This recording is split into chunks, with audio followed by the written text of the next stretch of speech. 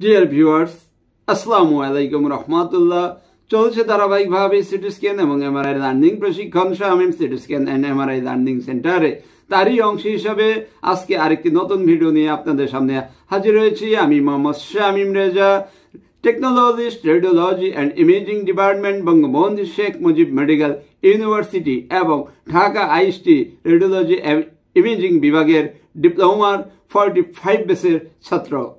আজকে আমি বর্ণনা করব অ্যাবডোমেন সিটি স্ক্যান সম্বন্ধে। ইতিমধ্যে অ্যাবডোমেন সিটি স্ক্যান কীভাবে করে পারেকটাল দিয়ে কীভাবে করে, সেগুলো বিস্তারিত বর্ণনা করা হয়ে গেছে। কন্টাস দিয়ে অ্যাবডোমেন সিটি স্ক্যান কেন করব সেগুলো বর্ণনা করা চলছে। ইতিমধ্যে আমার এখানে কয়েকটি কারণ ব্যাখ্যা করা হয়ে গেছে। যে কারণগুলো ব্যাখ্যা করা হয়ে গেছে, আমি সেইটা সম্বন্ধে একটু বলি। যেগুলি ব্যাখ্যা করা হয়েছে, সেগুলো হচ্ছে abdominal aortic aneurysm abdominal aortic dissection appendicitis cancer cirrhosis colitis আজকে আমি ব্যাখ্যা করব সিস্ট সম্বন্ধে, কত ধরনের সিস্ট রয়েছে, সেই সিস্ট সম্বন্ধে আমি ব্যাখ্যা করব। এক্সিয়াল ছবি দেখাবো, মাঝে মাঝে করোনাল ছবি দেখিয়ে আপনাদের সিস্টটা ভালোভাবে বুঝিয়ে দেব। তাহলে আজকে চলুন আমরা সিস্ট সম্বন্ধে সামান্যতম জ্ঞান একটু অর্জন করি। আর প্রাথমিক অবস্থায় আমি এখানে যেটুকু বর্ণনা করছি, সেটুকুই আপাতত আমাদের যথেষ্ট। যখন আমরা সিনিয়র হয়ে যাব, অনেক দিন হয়ে যাবে, তখন আমাদের আরও বিস্তারিত জানতে হবে। তাহলে চলুন আজকে এই সিস্ট সম্বন্ধে জানি। তার আগে চ্যানেলটি যারা এখন সাবস্ক্রাইব করেননি, চ্যানেলটি এখনই সাবস্ক্রাইব করে নিন এবং পাশে থাকা বেল আইকনটিতে ক্লিক করে নিন। তাহলে আমার ভিডিওর সর্বশেষ নোটিফিকেশন আপনার কাছে পৌঁছে যাবে। ইতিমধ্যে যারা সাবস্ক্রাইব করেছেন, তাদেরকে অন্তরের অন্তঃস্থল থেকে ধন্যবাদ। তাহলে চলুন, ভিডিওতে যাওয়া যাক।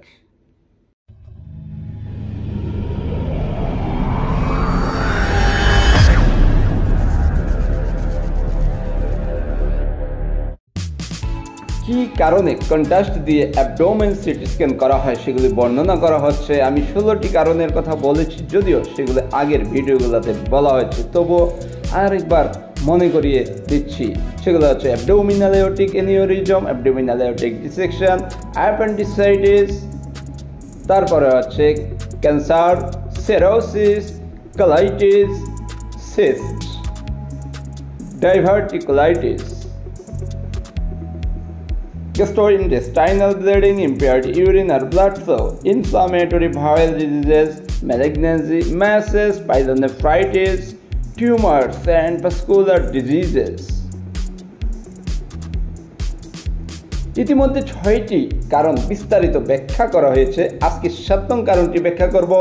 সাত নং কারণটি হচ্ছে আমাদের সিস্ট আমরা আজকে সিস্ট সম্বন্ধে জানব। What is cyst cyst a close capsule or sac like structure typically containing liquid semisolid or gases material, much like a blister.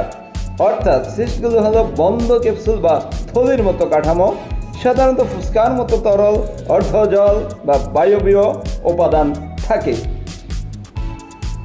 এখন আমরা টাইপস অফ সিস্ট সম্পর্কে জেনে নেব কত ধরনের সিস্ট আমাদের হতে পারে যেমন acne cyst arachnoid cyst Baker cyst Bartholin cyst breast cyst আরও কি হতে পারে? Chalazion cyst colloid cyst dentigerous cyst dermoid cyst epidermoid cyst epididymal cyst গ্যাংনিয়ান cyst hydrated cyst আরও কি হতে পারে? Kidney cyst ovarian cyst pancreatic cyst periapical cyst আরও হতে পারে?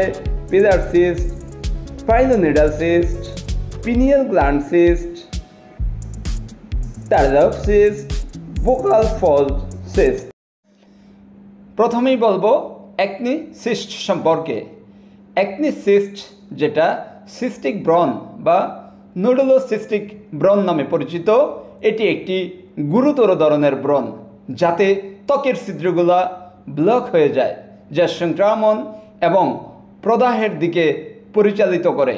সুতরাং এটি একটি গুরুতর ধরনের সিস্ট অবশ্যই চিত্রতে আমাদের দেখতে হবে। চিত্রগুলো দেখতে কীরকম? এই যে আপনাদের সামনে যেই ছবিগুলো ভাসছে, এটাই হচ্ছে সিস্টিক ব্রণ বা নুডুলো সিস্টিক ব্রণ। এবার বলব আরাকনয়েড সিস্ট সম্পর্কে। National Institute of Neurological Disorder and Stroke trusted source note করে যে আরাকনয়েড সিস্টগুলো আরাকনয়েড মেমব্রেন এবং মস্তিষ্ক বা মেরুদণ্ডের মধ্যে বিকাশ লাভ করে। এই সিস্টে সেলিব্রো স্পাইনাল ফ্লুইড থাকে। আরাকনয়েড সিস্ট নবজাতক শিশুদের বেশিরভাগ প্রভাবিত করে। মস্তিষ্ককে এটা ঢেকে রাখে। যখন ব্রুনের বিকাশের সময় হয়, তখন এটি দ্বিগুণ বা বিভক্ত হয়ে সেলিব্রো স্পাইনাল ফ্লুইডের একটি অস্বাভাবিক পকেট তৈরি করে। কিছু কিছু ক্ষেত্রে একজন ডাক্তারের সিস্ট নিষ্কাশন করার প্রয়োজন হতে পারে, সাধারণত মাথায় আঘাত, টিউমার বা মেনিনজাইটিসের ফলে সেকেন্ডারি আরাকনাইট সিস্ট তৈরি হয়। চিত্রে দেখুন আরাকনাইট সিস্টগুলো দেখতে কীরকম, এক্সিয়াল এবং করোনাল ছবি আমি সাধারণত প্রেফার করি। কারণ আমরা যখনই সিটি স্ক্যান করতে যাব, আমাদের মূল ছবিগুলো হচ্ছে এক্সিয়াল ইমেজ পাশাপাশি আমরা মাঝে মাঝে করোনাল ইমেজ এবং সাজিটাল ইমেজ দিয়ে দেখানোর চেষ্টা করব চিত্রগুলা। এগুলো হচ্ছে অ্যারাকনয়েড সিস্ট। এখন আলাপ করব একটি আনকমন সিস্ট, যেটার নাম হচ্ছে বেকার সিস্ট। বেকার সিস্ট পবলাইটাল সিস্ট নামেও পরিচিত, আর যখন পবলাইটাল চলে আসবে, তখন আমরা হাঁটু সংক্রান্ত ব্যাপারটাই বুঝব বেশি। এগুলি সাধারণত কোনো উপসর্গ সৃষ্টি করে না। তারপরও বেকার সিস্ট থাকলে একজন ব্যক্তি যেটা সমস্যা অনুভব করতে পারেন, সেটা হচ্ছে তার হাঁটু ব্যথা হতে পারে, হাঁটুর পিছনে একটি পিণ্ড অনুভূত হতে পারে হ্যাঁ হাঁটুর পিছনে পূর্ণতার অনুভূতি হতে পারে।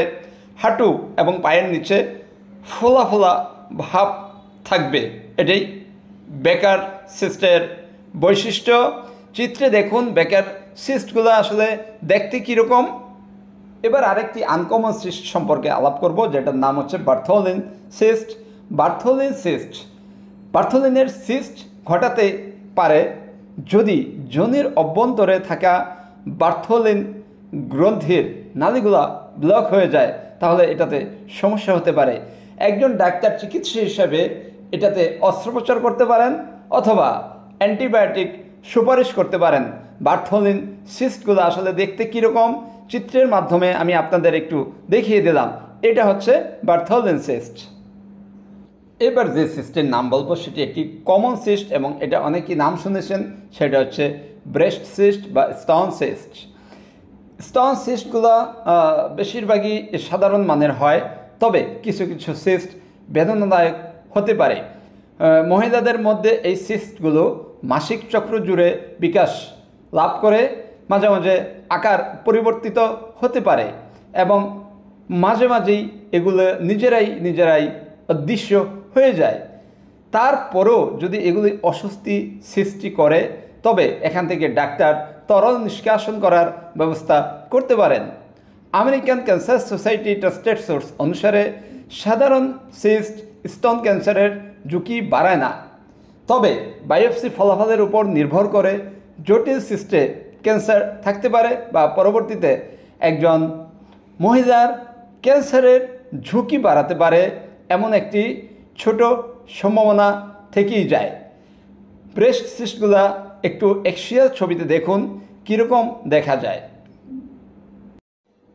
এখন যে সিস্ট সম্পর্কে আলাপ করব সেটা একটি আনকমন সিস্ট। যদিও নামটি আনকমন কিন্তু আমরা সিটি স্ক্যান ছবিতে এটা প্রায় পেয়ে থাকি। এটা চোখের সম্বন্ধীয় সিস্ট। এটার নাম হচ্ছে চেলাজিয়ান সিস্ট। চেলাজিয়ান সিস্ট হচ্ছে চোখের পাপড়ির গ্রন্থির সিস্ট, যা মেইবোবিয়ান গ্রন্থি নামে পরিচিত। এটি একটি লুব্রিকেন্ট তৈরি করে যা চোখের পাতার প্রান্তের ক্ষুদ্র ছিদ্র থেকে বেরিয়ে আসে। যদি নালি ব্লক হয়, তাহলে এখানে সিস্ট তৈরি হয়। এগুলি চেলাজিয়ান সিস্ট নামে পরিচিত। চেলাজিয়ান সিস্টগুলো দেখতে অনেকটাই পরিচিত। এক্সিয়াল ছবিতে দেখুন, চেলাজিয়ান সিস্টগুলো কীরকম। প্লাস পাশাপাশি আমাদের ত্বকের উপরে, চোখের উপরে এটা দেখতে কীরকম হয় সেই ছবিতেও আমি এখানে অ্যাটাচ করেছি। দেখুন চেলাজিয়ান সিস্টগুলো কীরকম। এখন যে সিস্টির কথা বলব, সেটি একটি কমন সিস্ট এগুলোর নাম আপনারা আগেও শুনেছেন।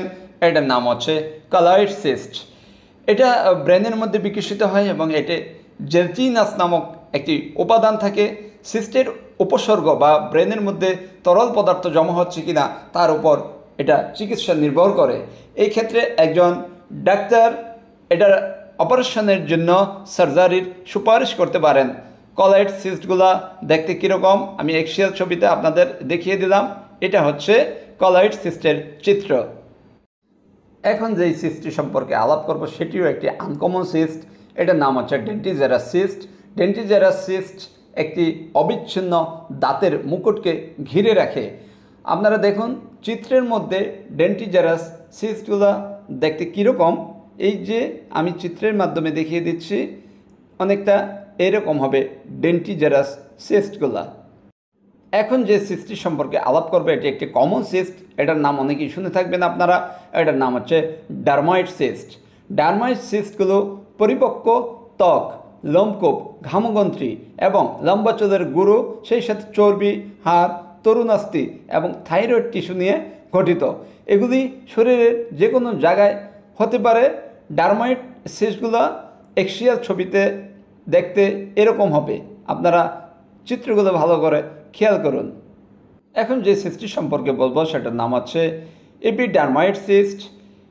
এটাকে অনেকে সেবিসিয়াস সিস্ট হিসাবে উল্লেখ করে, যদিও এই সিস্টগুলো সেবিসিয়াস গ্রন্থিকে জড়িত করে না তার পরেও স্বাস্থ্যসেবা পেশাদাররা তাদের পরিবর্তে এটাকে বলে এপি এপিডার্মাইট সিস্ট।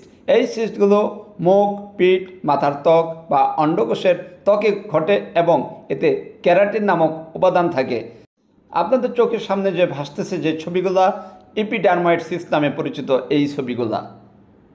এখন যে সিস্টটি সম্পর্কে আলাপ করব, সেটাও একটি আনকমন সিস্ট এটার নাম হচ্ছে ইপিডিডাইমাল সিস্ট এটা সাধারণত স্পার্মাটোসেলস অন্ডকোষের সাথে সংযুক্ত। এগুলি সাধারণত বিনাইন এবং সাদা এবং মেঘলা একটি তরল ধারণ করে। এগুলোতে শুক্রাণু থাকে। এগুলি খুব একটা গুরুতর নয় এবং চিকিৎসার খুবই কম প্রয়োজন হয়। তারপরেও যদি তারা ব্যথা সৃষ্টি করে বা খুব বড় হয়ে যায়, তবে চিকিৎসার প্রয়োজন হতে পারে। সিটি স্ক্যান ছবিতে ইপিডিডাইমাল সিস্টগুলা এরকম দেখা যাবে। এখন যে সিস্টির কথা বলব, এগুলির নাম আপনারা শুনেছেন, এটা হচ্ছে গ্যাংলিয়ন সিস্ট। এগুলি ছোট ধরনের হয় সাধারণত বিনাইন হয়। এগুলি একটি জয়েন্ট বা টেন্ডনের আবরণের উপর বা কাছাকাছি গঠিত হয়।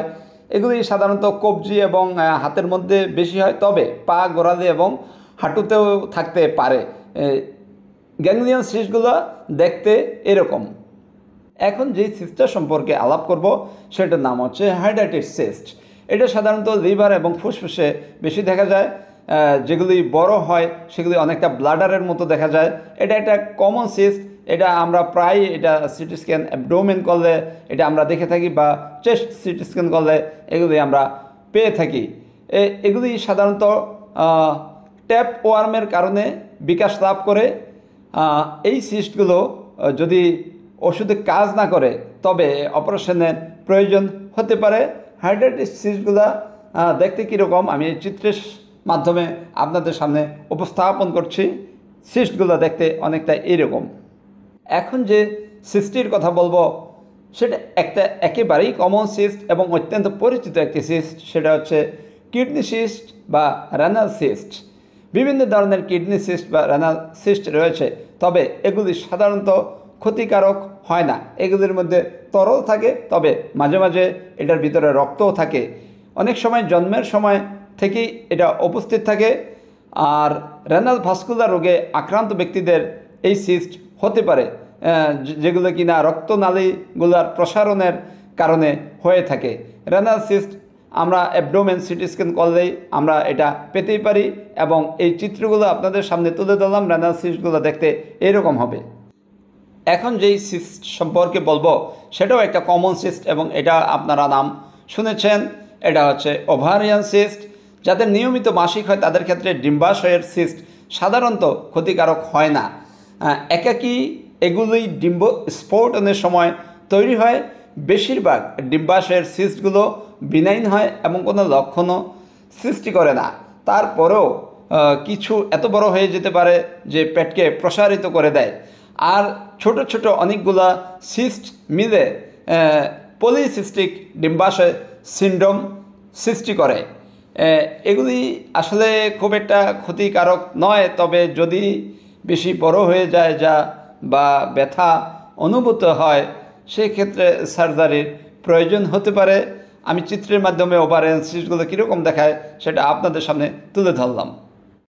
এখন যে সিস্ট সম্পর্কে আলাপ করব, সেটা হচ্ছে প্যানক্রিয়াটিক সিস্ট বা অগ্নাশয় সিস্ট আপনারা যে চিত্রে দেখতে পাচ্ছেন, এই সিস্টগুলোই হচ্ছে প্যানক্রিয়াটিক সিস্ট বা অগ্নাশয় সিস্ট এগুলি সিটোসিস্ট হিসাবেও পরিচিত। অগ্নাশয়ের কোষগুলো আহত বা স্ফীত হলে এখানে সিস্টের সৃষ্টি হয়। অগ্নাশয়ের এনজাইমগুলো যখন ফুটো হয়ে যায় এবং অগ্নাশয়ের টিস্যুকে ক্ষতিগ্রস্ত করে, তখনও এগুলি ঘটতে পারে। এখন যে সিস্টটি সম্পর্কে আলাপ করব, সেটি একটি আনকমন সিস্ট অর্থাৎ এগুলির নাম আপনারা খুবই হয়তো কম শুনেছেন। এটার নাম হচ্ছে পেরি অ্যাপিক্যাল সিস্ট এটা রেডিকুলার সিস্ট নামেও পরিচিত। সাধারণত দাঁতের গঠন ও বিকাশের সাথে সম্পর্কিত এই সিস্টগুলা এই সিস্টগুলার সাধারণত পাল্পের প্রদাহ, পাল্পের মৃত্যু বা দাঁত ক্ষয়ের কারণে বিকাশ লাভ করে। আপনার সামনে যে চিত্রগুলো রয়েছে এগুলি হচ্ছে পেরিয়াপিক্যাল সিস্ট এখন বলব পিলার সিস্ট সম্বন্ধে। পিলার সিস্ট এটিও একটি আনকমন সিস্ট পিলার সিস্ট আসলে ট্রাই চিলেমাল সিস্ট নামেও পরিচিত। এগুলি সাধারণত তরলে ভরা থাকে, যা চুলের ফলিকল থেকে তৈরি হয় এবং সাধারণত মাথার ত্বকে এগুলি বিকাশ লাভ করে। চিত্রে যেগুলো দেখছেন, এগুলি হচ্ছে পিলার সিস্ট এটিও একটি আনকমন সিস্ট যেটার নাম এখন বলব, এটা হচ্ছে পাইলোনিডাল সিস্ট পাইলোনিডাল সিস্ট সাধারণত টেলবোনের কাছে বা পিঠের নিচে ত্বকে তৈরি হয় এবং সেগুলোতে কখনো কখনো অন্তকিত চুল থাকে। এই সিস্টগুলো ক্লাস্টারে বৃদ্ধি পেতে থাকে, যা কখনো কখনো ত্বকে গর্ত বা গহ্বর তৈরি করে।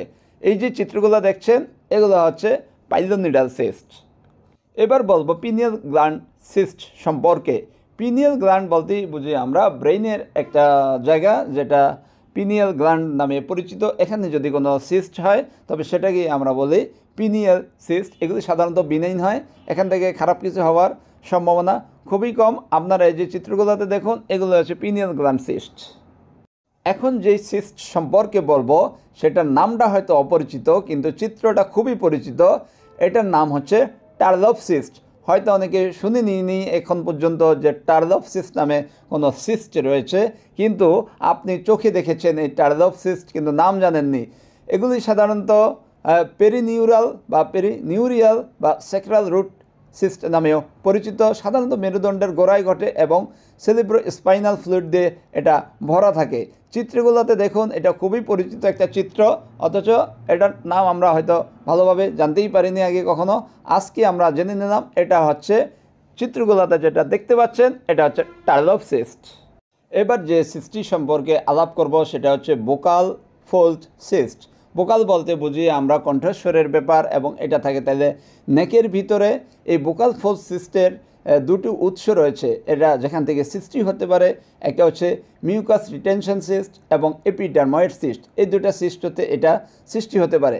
বোকাল ফোল্ড সিস্ট একজন ব্যক্তির যদি কথা বলে, তখন তার এই কথার কণ্ঠস্বর পরিবর্তন হতে পারে আর হতে পারে একই সাথে একাধিক টোন হতে পারে যা ডিপ্লোফোনিয়া নামে পরিচিত, শ্বাসকষ্ট হতে পারে কথা বলার সময় যা ডিসফোনিয়া নামে পরিচিত, কথার মধ্যে কর্কশতা ভাব থাকতে পারে। চিত্রগুলোতে দেখুন, এগুলো হচ্ছে বোকাল ফলসিস্ট আজকে এ পর্যন্তই। সবাই ভালো থাকবেন, সুস্থ থাকবেন। এই কামনা করে আজকের মতো বিদায় নিচ্ছি। খুদা হাফেজ।